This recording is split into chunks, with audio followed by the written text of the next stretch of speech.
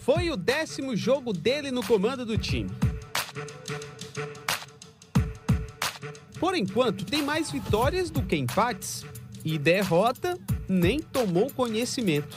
Em dois dias, em dois dias, ele conseguiu aceitar nossa equipe, conseguiu colocar nós para jogar e era o que a gente precisava. Um técnico argentino tranquilo na beira do campo e com uma palavra de ordem que tem feito diferença no trabalho. Todo torcedor do Fortaleza está escutando bastante essa palavra aí que o Voivoda falou para nós, né? Que é a intensidade. Não tem nenhum segredo, basta a gente querer. Contra o esporte, o Fortaleza mostrou isso mais uma vez. Posse de bola, chegando com frequência no ataque. Mas sem criar aquela chance de gol. O time pernambucano marcando muito bem.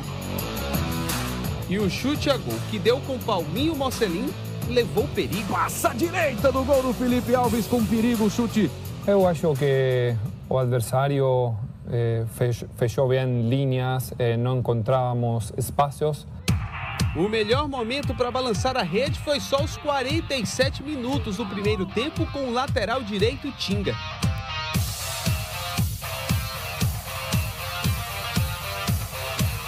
Ao Voivoda restou continuar motivando e pedindo. Ora, ora, ora, ora, ora!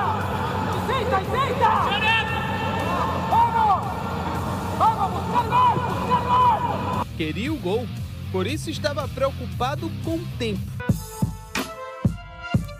Para um time que nos últimos jogos fez muitos gols, o 0 a 0 estava incomodando. Jogo de muita dificuldade para a equipe do Fortaleza, que tentava encontrar o gol e não conseguia. Mas aconteceu e foi bem semelhante ao confronto contra o esporte no Campeonato Brasileiro do ano passado.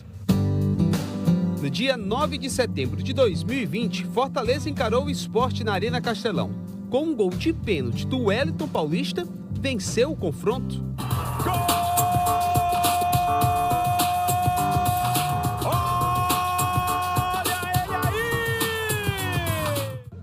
Ontem, logo depois da expulsão do jogador Maxwell do esporte. Depois que já tem ela dominada, ele tem um movimento adicional com a sola da chuteira, com intensidade no Matheus Vargas, uma entrada para expulsão.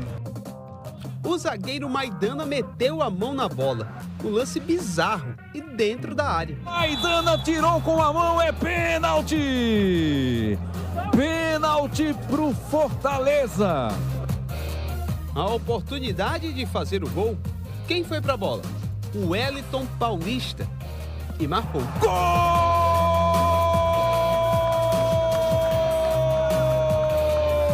É do Fortaleza! Um gol que garantiu mais uma vitória tricolor. Agora são 19 jogos de invencibilidade, com 100% de aproveitamento no Brasileirão.